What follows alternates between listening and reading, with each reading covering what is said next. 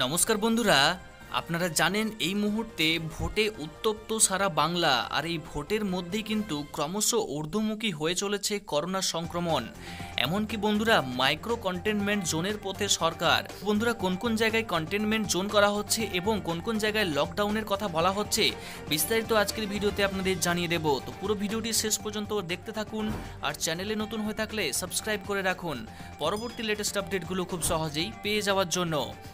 তো বন্ধুরা, বলা হয়েছে গত কয়েকদিন ধরেই করোনার সংক্রমণ ক্রমশ বাড়ছে। আজ বুধবারও সেই সংক্রমণের হার ক্রমশ বাড়ছে। স্বাস্থ্য দপ্তরের বুধবার সন্ধ্যের রিপোর্ট বলছে, একদিকে বাংলায় করোনা আক্রান্ত হয়েছেন নশো বিরাশি জন, যা গত কয়েক মাসে রেকর্ড বলেই জানাচ্ছেন ডাক্তাররা। মঙ্গলবারের সরকারি রিপোর্ট অনুযায়ী রাজ্যে করোনা আক্রান্ত হয়েছিল ছশো আঠাশ জন। রাত পোহালেই দ্বিতীয় দফা নির্বাচন বঙ্গে। আর তার আগে এক ধাক্কায় সংক্রমিতের সংখ্যা প্রায় তিনশো বাড়লো। ফলে এদিন রাজ্যে মোট করোনা আক্রান্তের সংখ্যা বেড়ে দাঁড়াল পাঁচ লক্ষ ছিয়াশি হাজার নশো পনেরো জন। চিন্তা বাড়াচ্ছে রাজ্যের দুই জেলা। করোনার চোখ ক্রমশ লাল হচ্ছে বাংলার দুই জেলায়, যা যথেষ্ট চিন্তার কারণ হয়ে উঠেছে। কলকাতা এবং উত্তর চব্বিশ পরগনায় করোনা সংক্রমণ হু করে বাড়ছে। কলকাতায় একদিকে করোনা আক্রান্ত হলেন তিনশো আশি জন, এর ঠিক পিছনেই রয়েছে উত্তর চব্বিশ পরগনা, যেখানে গত চব্বিশ ঘন্টায় কোভিড সংক্রমিত হয়েছেন দুশো বারো জন। আর কোনো জেলায় দৈনিক আক্রান্তের সংখ্যার নিরিখে অবশ্য একশো পার করেনি। বুধবার যে রিপোর্ট স্বাস্থ্য দপ্তর দিয়েছে, তাতে যথেষ্ট আশঙ্কার কালো মেঘ তৈরি হয়েছে বাংলার আকাশে। এভাবে যদি করোনা সংক্রমণ বাড়তে থাকে, তাহলে খুব শীঘ্রই ভয়ঙ্কর আকার নিতে পারে বলে আশঙ্কা। এই মুহূর্তে রাজ্যে অ্যাক্টিভ করোনা রোগীর সংখ্যা পাঁচ হাজার সাতশো পঁচাত্তর জন।